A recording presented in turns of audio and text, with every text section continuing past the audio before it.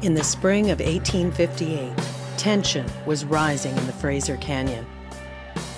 The ancestral territory of the Nlaka'pamux people had been invaded by tens of thousands of well armed gold seekers.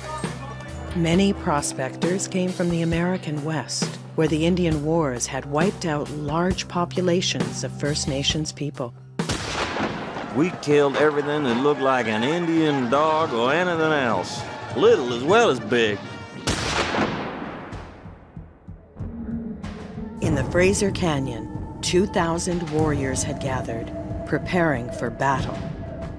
Hostilities erupted when a young Nlaka'pamux woman was raped. Warriors retaliated. Downriver at Yale, the morning light disclosed the headless bodies of two white men. Later in the day, three more decapitated bodies floated downstream. Fearing for their lives, many miners fled the banks of the river.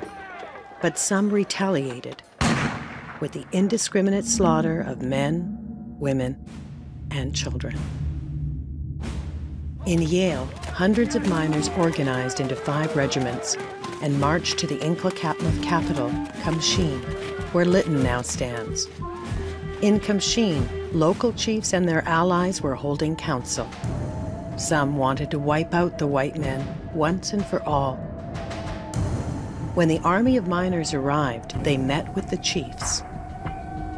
We stated this time that we come for peace.